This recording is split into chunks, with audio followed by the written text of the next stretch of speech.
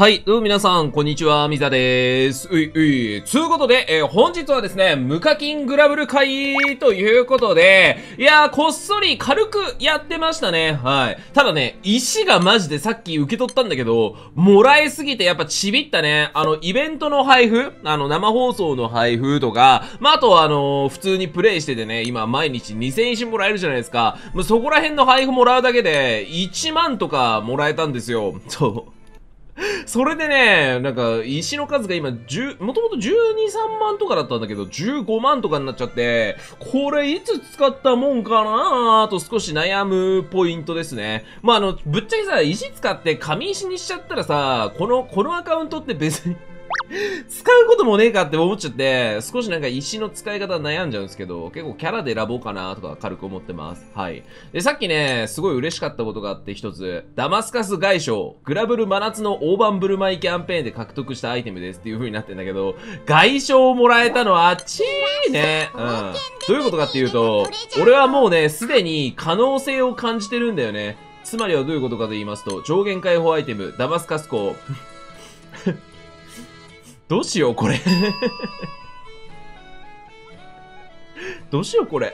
っていう感じです。はい。ということで、えー今回の大まかな目標としては、えーマグナをスキップしたいというのが目標になります。どういうことかっていうと、あの、基本的にグラブルって、あの、無課金、無課金グラブル、無課金から今からグラブルを進めるのであれば、個人的にすっごいお勧めしたいなっていう風に思ってるのが、スキップの解放だね。スキップを真っ先に解放することを特にお勧めしておきたくて、そうすることによって可処分時間が増えるわけですよ。ん？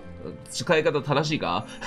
使える時間が増えるんだよね。ここら辺の日課といういう時間に、あのー日課という時間にとらわれないことによって、新たなライフスタイルが、あのーえー実現できるわけですわな。うん。そこら辺を考えると、グラブルにおいて、今一番優先されることって、スキップですね。ここら辺のスキップ系統を、え真っ先に解放することかもしれないっていう風に思ってます。えー今んとこスキップの条件としては、ヘイローは、このエンジェルヘイローベリハやって、あのーあれだね、あの、ヘルヘイロー、一回、ディメンションヘイローを一度でもクリアすることで、えープロが解放されるんだったかな。うん。で、それ以外で任意でやんなきゃいけないのが、この討滅戦プロですね。討滅戦は、えーここら辺のマニアック、全属性のマニアックとかをすべてクリアすると、えー解放されるっていうような感じになってるね。えちなみになんだけど、撃滅戦プロも、えー今後来るので、そこら辺考えると、まあ、あの、いつかは、こう、この、撃滅戦プロ、撃滅戦全部クリアっていう概念もやっておく必要があるかなっていうようなところです。はい。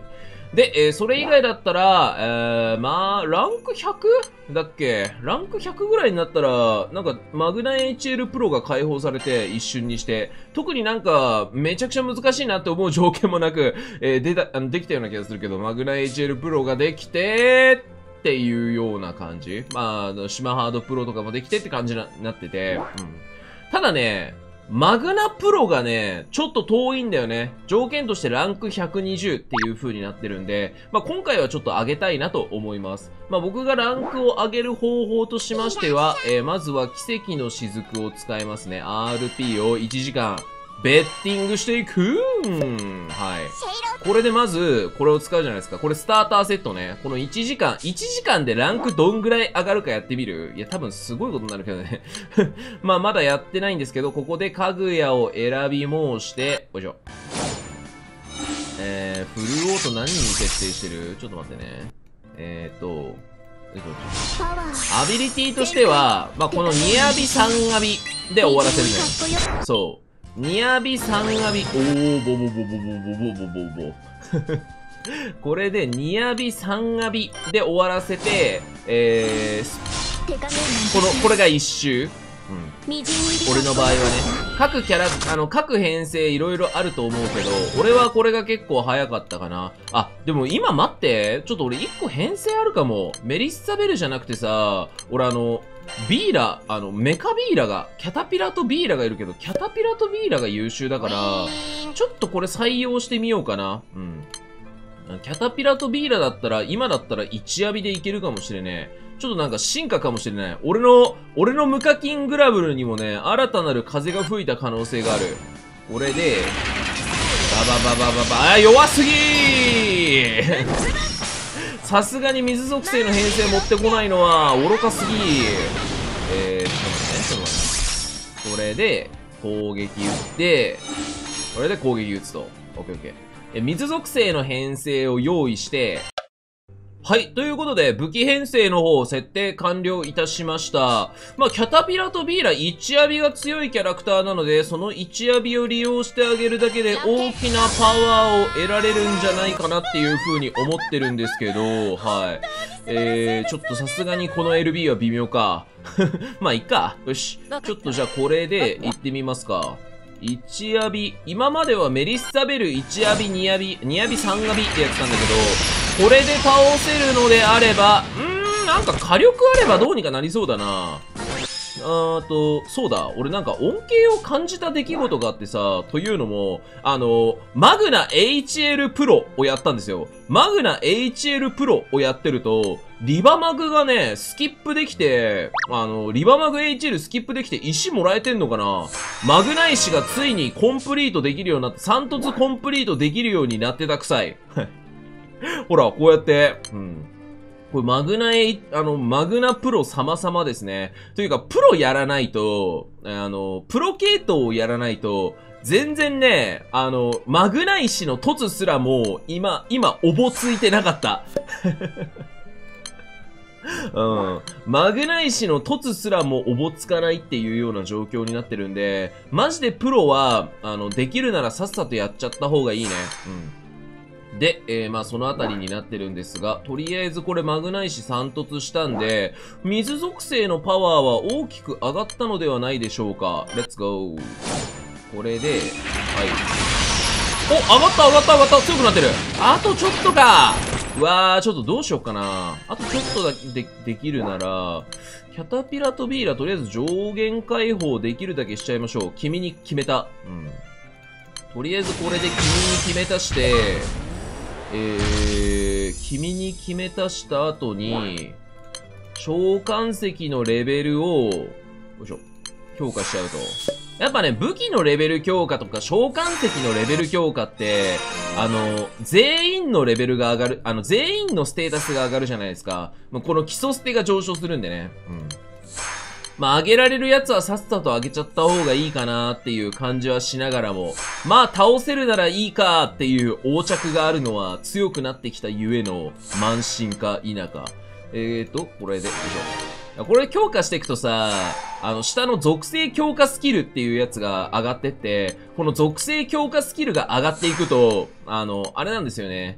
強化のボーナスとか、なんかいろいろエレメント化した際の、なんかエレメントの追加とか、恩恵あるんで、まあ、できるならちょっと強化できるうちに強化して、おいた方が、あの、序盤は幸せにはなれるかもしれんね。はい。レベルが80になりまして、こうやって見るとなんかエンジェルってマジで経験値しょっぺんだなって思うわ。こあの、経験、今までさ、最近さ、杯を使ってさ、強化しまくってたからさ、あ、こんなになんか、アークエンジェル、なんかエンジェル、エンジェルってそんな経験値美味しくないんだって思っちゃったよね。はい、えー、レベルが100になりまして、まあ、少しの火力上昇で大きな、あの、恩恵を得られるんじゃないでしょうか。まあ、あの、ちょっとま、最近動画にしたじゃないですか。アビリティダメージの動画を作ったんだけど、アビダメって倍率っていう概念が存在してて、まあ、基礎ダメ上げると火力が上がりやすいっつう話なんだけど、うん。まあ、今ので基礎ステータスが上がったから、家具屋とかでも、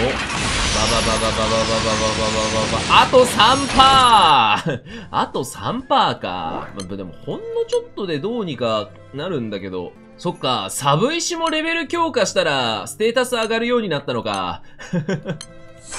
これもなんかでかいね。うん、なんかぜ、ステータス石っていう概念がな、あの、もともとあんまり希薄だったんですよね、このアカウントって。というのも、なんか一番強いやつ適当に入れときゃいいやって思ってて、ステータス石っていうのがなかったんですよ。なんだけど、マグナ3突が安定したことによって、レベルを上げるとそこら辺使えるようになったから、まあ、やっぱパワーが上がったなって感じするな。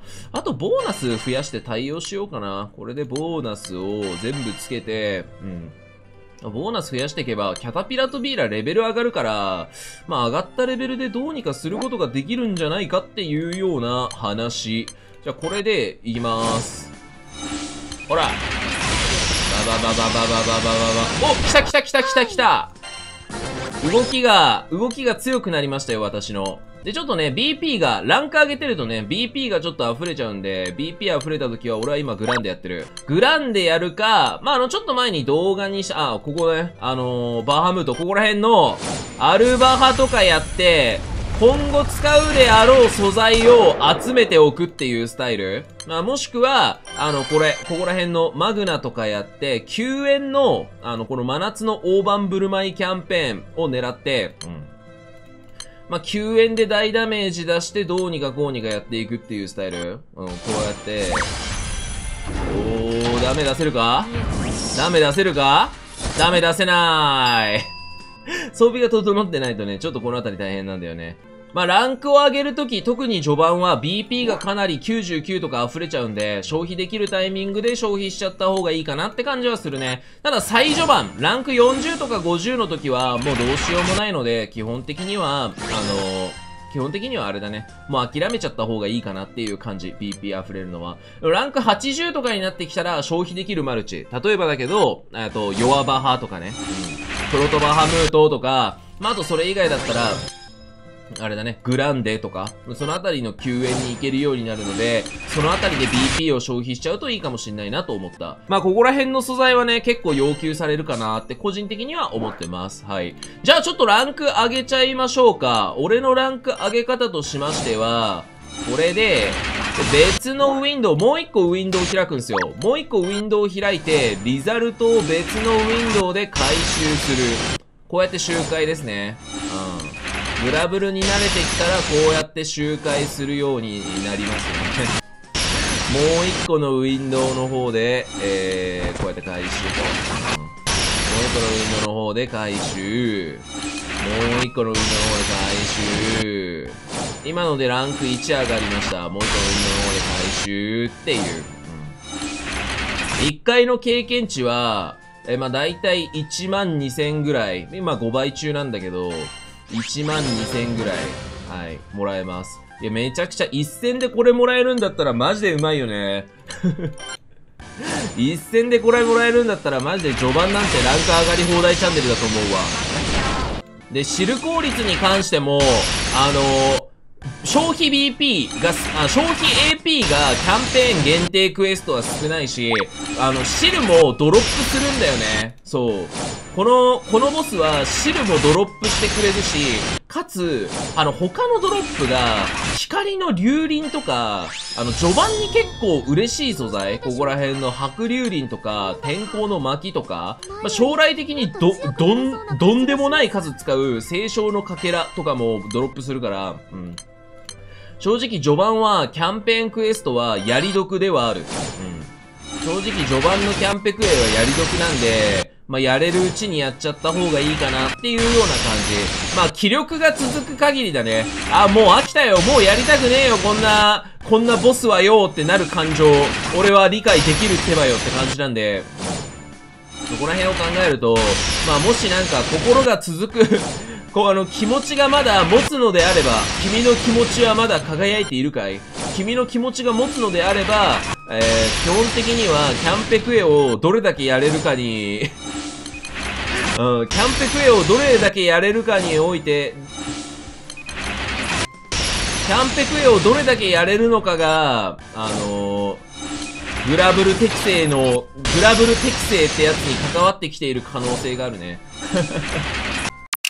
はい。ということで、ちょっと道中になってるんですけど、今現在、えー RP、EXP5 倍キャンペーンの残りが825となりました。で、今のランクがね、118になってるんですよ。めちゃくちゃもらえたね、RP。ありがとうございます。ごちそうさまでしたって感じになってるんですが、これでエンド。うん。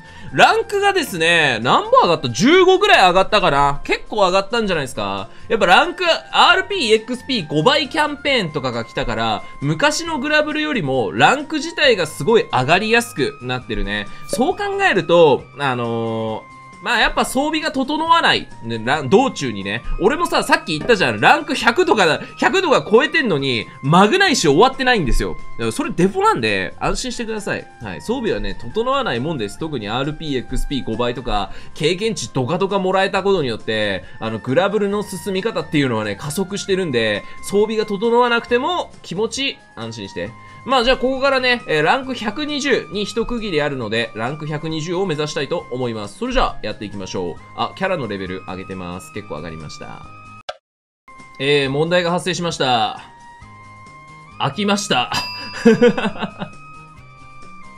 まあなんか、この無課金アカウントそんなせこせこね、がっつりやって、もう、うわーなんか最速攻略とかそういう感じでもないんで、まあこんぐらいにしといてやるか。